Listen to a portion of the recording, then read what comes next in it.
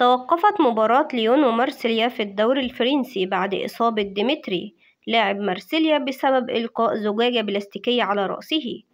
وقرر حكم اللقاء إيقاف المباراة بسبب حدوث أعمال شغب من الجماهير التي أدت لإصابة ديمتري في رأسه خلال تنفيذه لإحدى الركلات الركنية في الدقيقة الرابعة ليسقط على الأرض. وشهد اللقاء أحداث شغب كبرى منذ الدقيقة الأولى. حيث تم الهجوم من قبل جمهور ليون على ديمتري بإلقاء زجاجة بلاستيكية أدت إلى إصابته في رأسه واضطر حكم اللقاء لإيقاف المباراة.